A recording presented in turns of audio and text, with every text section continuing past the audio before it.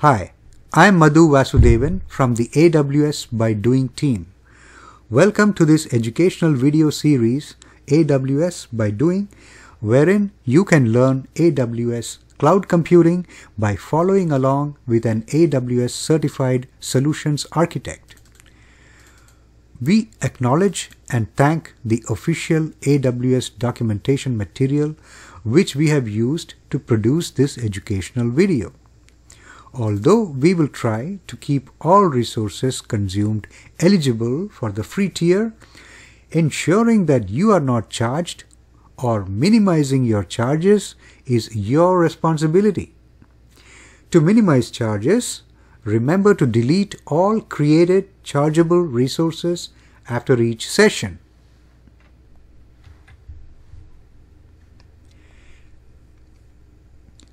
This time, we will walk you through a hands-on lab on create a Hello World Lambda function from Blueprint, manually invoke the Lambda function using sample event data, review your output metrics, delete all created resources.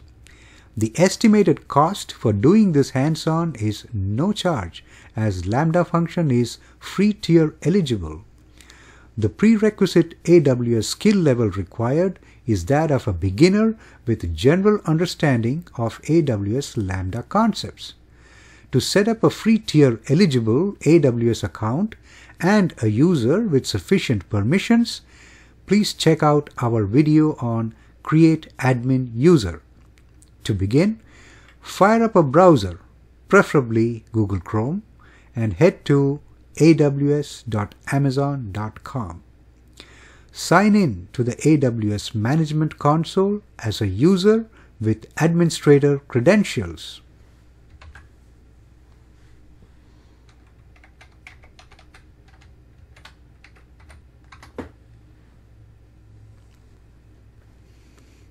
In this tutorial, we will learn the basics of running code on AWS Lambda without provisioning or managing servers. We will walk through how to create a Hello World Lambda function using the AWS Lambda console. We will then show you how to manually invoke the Lambda function using sample event data and review your output metrics. To start, let's enter the Lambda console.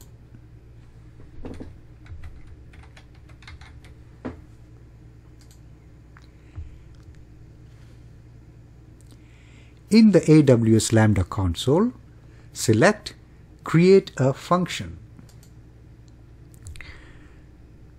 The console shows this page only if you do not have any Lambda function created. If you have created functions already, you will see the Lambda functions page. On the list page, choose Create a Function to go to the Create Function page. Blueprints provide example code to do some minimal processing. Most blueprints process events from specific event sources such as Amazon S3, DynamoDB, or a custom application. Select Blueprint. In the filter box, type in hello hyphen world hyphen python and select the Hello World Python blueprint. Then click on Configure. A Lambda function consists of code you provide, associated dependencies, and configuration.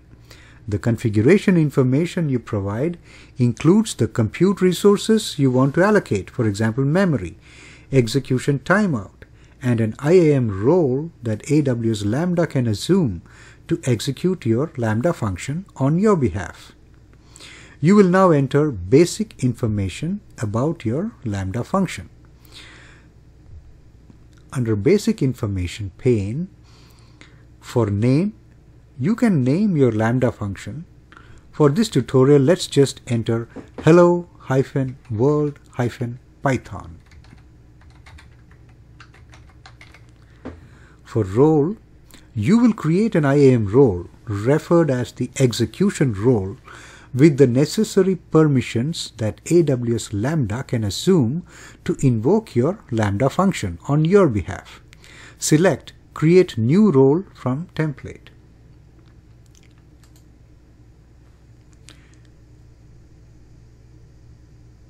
For role name, type in lambda underscore basic underscore execution.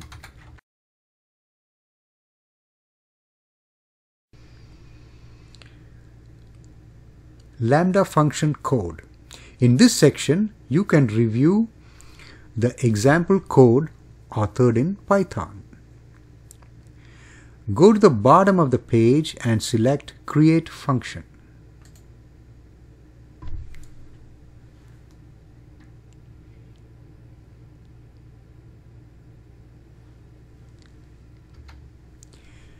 After the function is created, scroll down to Basic Settings and click on Edit.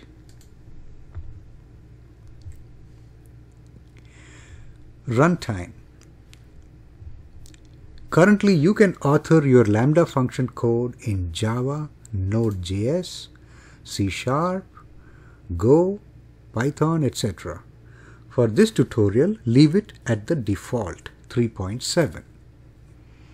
Python 3.7. For handler, you can specify a method or function in your code where AWS Lambda can begin executing your code. AWS Lambda provides event data as input to this handler, which processes the event. In this example, Lambda identifies this from the code sample and this should be pre-populated with lambda underscore function dot lambda underscore handler. Scroll down to configure your memory and timeout settings. For this hands-on session, leave the default Lambda function configuration values.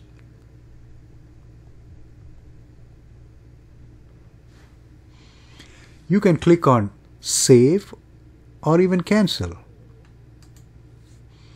Since we did not edit anything,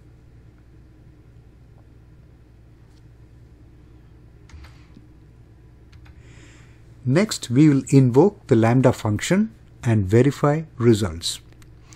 The console shows the Hello World Python Lambda function. You can now test the function and verify results and review the logs. Select Configure Test Event from the drop-down menu called Select a Test Event. The editor pops up to enter an event to test your function. Choose Hello World from the sample event template list from the input test event page. Type in an event name like Hello World Event.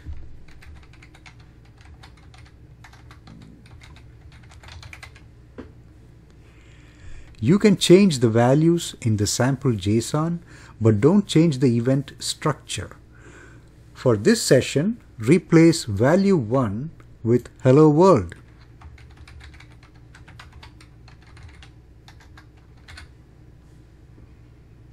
select create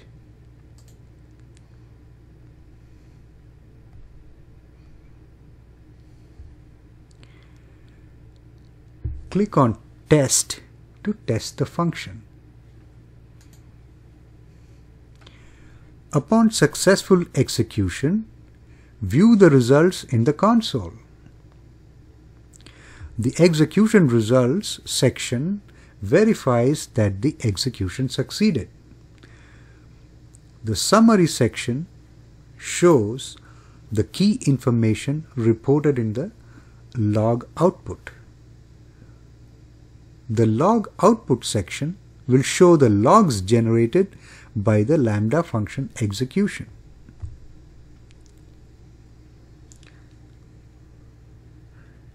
Click on click here to view the CloudWatch log group.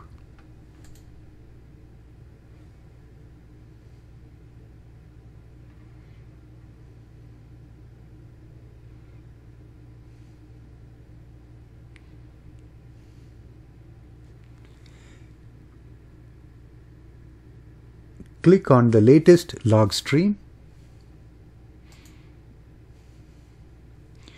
to see log details.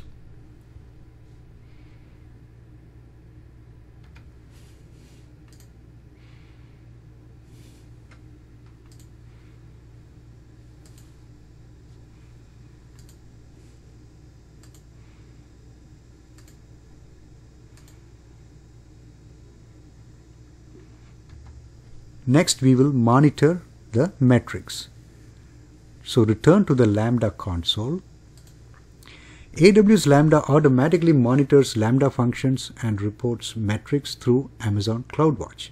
To help you monitor your code as it executes, Lambda automatically tracks the number of requests, the latency per request, and the number of requests resulting in an error and publishes the associated metrics. Invoke the Lambda function a few more times by repeatedly clicking the test button. This will generate the metrics that can be viewed in the next step. You may have to wait a few minutes for the metrics to be generated by CloudWatch.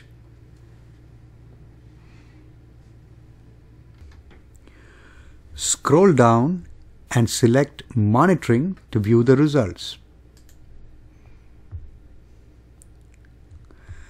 Scroll down to view the metrics for your Lambda function. Lambda metrics are reported through Amazon CloudWatch and you can leverage these metrics to set custom alarms. The Monitoring tab will show seven CloudWatch metrics.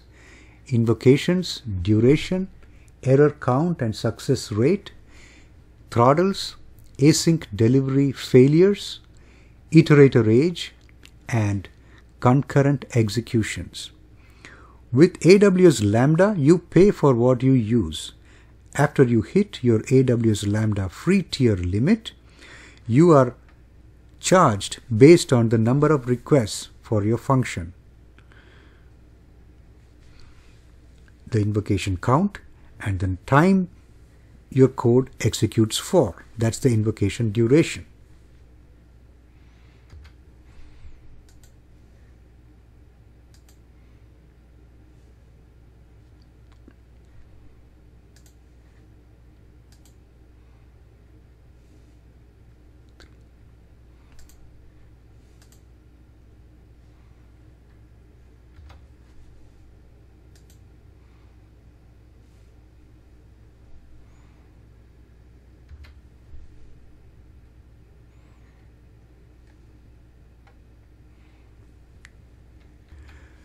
It's cleanup time now. If you are done working with the example function, delete it. You can also delete the execution role that the console created and the log group that stores the function's logs. To delete a Lambda function, open the Lambda console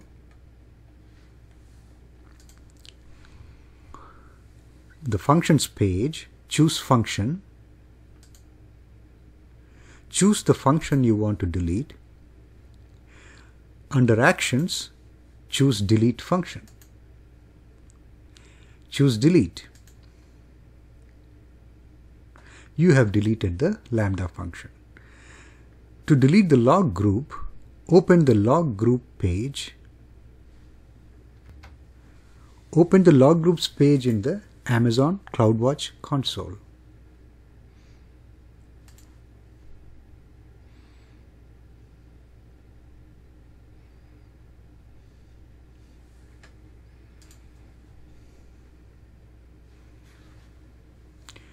Choose the function's log group.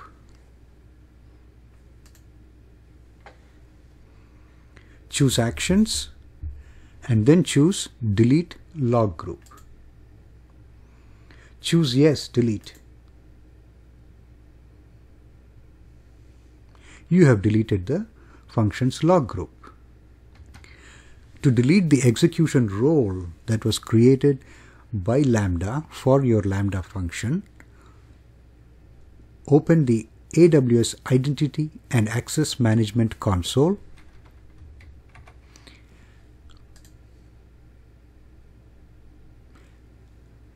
and open the roles page.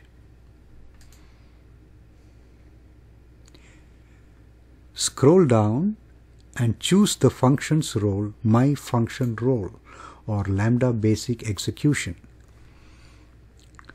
Choose delete role. Choose yes delete. You can automate the creation and cleanup of functions, roles, and log groups with the AWS CloudFormation and the AWS CLI. So now you have cleaned up all the resources that got created when you experimented with this AWS Lambda function. Thanks for watching. Please give a thumbs up to this video to encourage us. Share this video with your friends and colleagues. Also, Subscribe to this channel AWS by Doing and we will update you regularly with our latest and greatest offerings. Write in a comment of what you liked and how we can improve. Happy cloud computing and we will see you again in the next episode from the AWS by Doing team.